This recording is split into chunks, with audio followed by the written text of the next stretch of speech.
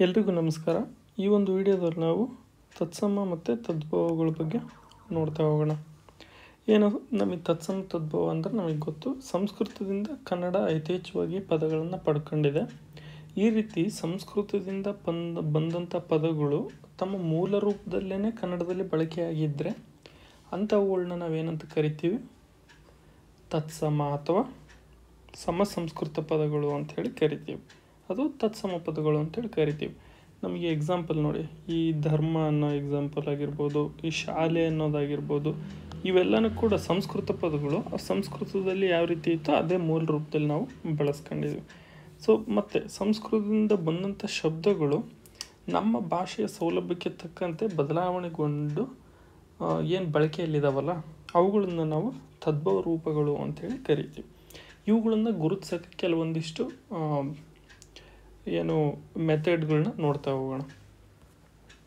ಮೊದಲನೇದಾಗಿ ನೋಡ್ರಿ, ಈಗ ಸ್, ಏನು ಸಕಾರ ಇರುತ್ತೆ ತತ್ಸಮದಲ್ಲಿ, ಈ ಈ ಶಾ ಮತ್ತು ಶ ತತ್ಸಮದಲ್ಲಿರ್ತಾವಲ್ಲ ಅವು ತದ್ಭವಕ್ಕೆ ಬದಲಾದಾಗ ಸಾಕಾರ ಬರ್ತಕ್ಕಂಥದ್ದನ್ನ ನಾವು ಗಮನಿಸ್ತೀವಿ ತತ್ಸಮ ತದ್ಭವದಲ್ಲಿ. ನೋಡಿ, ಇಲ್ಲಿ ಪುರುಷ ಅಂತ ಇರೋದನ್ನ ಇಲ್ಲಿ ಶಾ ಬದಲಾಗಿ ಈ ಸಾ ಬಂದಿರತಕ್ಕಂಥದ್ದು, ಶ್ರೀ ಬದಲಾಗಿ ಸಿರಿ ಬಂದಿರತಕ್ಕಂಥದ್ದು.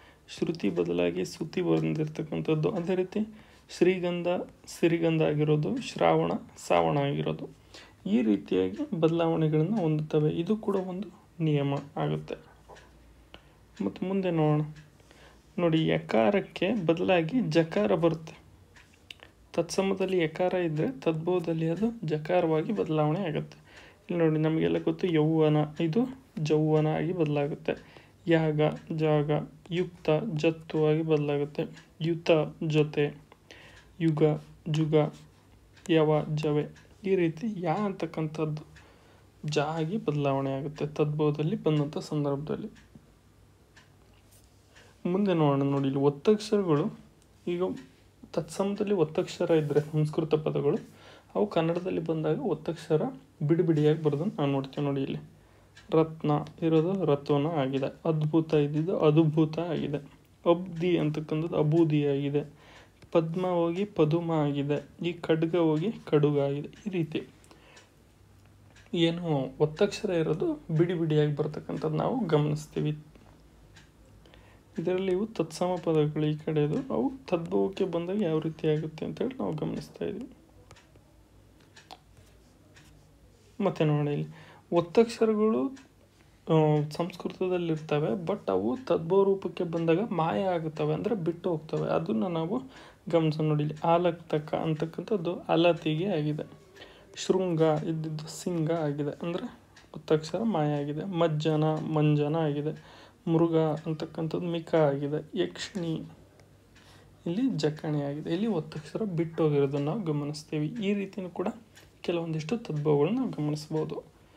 ಮತ್ತು ನೋಡೋಣ. ವಿಜಾತಿಯ ಒತ್ತಕ್ಷರಗಳು ಸಜಾತಿಯ ಒತ್ತಕ್ಷರ ಆಗೋದನ್ನು ನಾವು ತುಂಬ ಗಮನಿಸ್ತೀವಿ. ನೋಡಿ, ಇಲ್ಲಿ ಅಚ್ಚ, ಇದು ದೊಡ್ಡ ಚಾದ ಒತ್, ಒತ್ತಕ್ಷರ ಇರೋದು ಸಣ್ಣ ಚಾದ ಒತ್ತಕ್ಷರ ಬದಲಾಗುತ್ತೆ. ಈಗ ಏನು ಅಚ್ಚ ಕನ್ನಡ ಅಂತೀವಿ, ಅದು ಆ ಪದ ಇದು, ಅಚ್ಚ ಅಂತಕ್ಕಂಥ. ಅನ್ಯಕ ಇಲ್ಲಿ ನಾಕ್ಕೆ ನಾವು ಬಂದಿದೆ. ಅಂದರೆ ವಿಜಾತಿಯ ಒತ್ತಕ್ಷರದಿಂದ ಸಜಾತಿಯ ಒತ್ತಕ್ಷರಕ್ಕೆ ಬದಲಾಗಿದೆ. ಓಷ್ಟ ಓಟ ಆಗಿದೆ. ಕನ್ಯಕ ಇದ್ದಿದ್ದು ಕನ್ನಿಕೆ ಆಗಿದೆ. ವತ್ಸ ಇದ್ದಿದ್ದು ಬಚ್ಚ ಆಗಿದೆ. ಈ ರೀತಿ ಬದಲಾಗೋದನ್ನು ಕೂಡ ನಾವು ಗಮನಿಸ್ತೀವಿ. ಮಹಾಪ್ರಾಣಕ್ಕೆ ಬದಲಾಗಿ ಅಲ್ಪಪ್ರಾಣ ಬರೋದು. ಮಹಾಪ್ರಾಣ ತತ್ಸಮದಲ್ಲಿ ಬಂದರೆ ತದ್ಭವದಲ್ಲಿ ಅದು ಬದಲಾದಾಗ ಅಲ್ಪಪ್ರಾಣ ಆಗಿರೋದನ್ನು ನಾವು ಗಮನಿಸ್ತಾ ಹೋಗ್ತೀವಿ.